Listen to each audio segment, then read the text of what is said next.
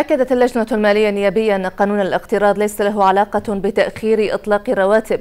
وذكرت اللجنة في وثيقة أن مشروع قانون تمويل الاقتراض المحلي لتمويل العجز المالي لسنة 2020 لم يصل إلى أروقة مجلس النواب أو اللجنة المالية وأضافت أن قانون الاقتراض ليس له علاقة بتأخير إطلاق الرواتب.